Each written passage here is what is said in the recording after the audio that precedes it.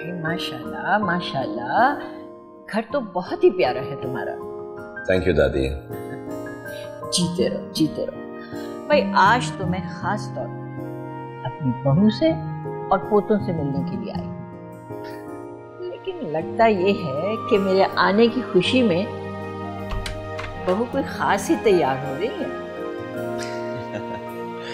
दादी बस अगर आपकी बहू होती तो यकीनन वो खास तैयारी कर रही होती। है क्या मतलब है? तुम्हारा तुमने शादी नहीं की?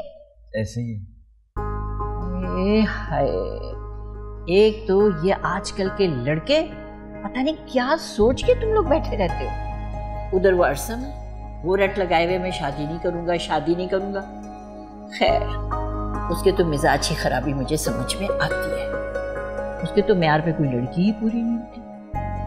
पर मेरा बेटा तुम तो अच्छे खासे भले मानस हो।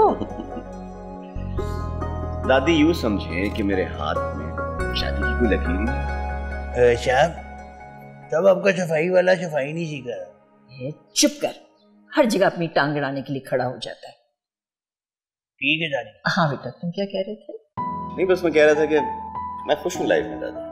अरे हाँ खुश हो गए तुम। बस तय हो गया।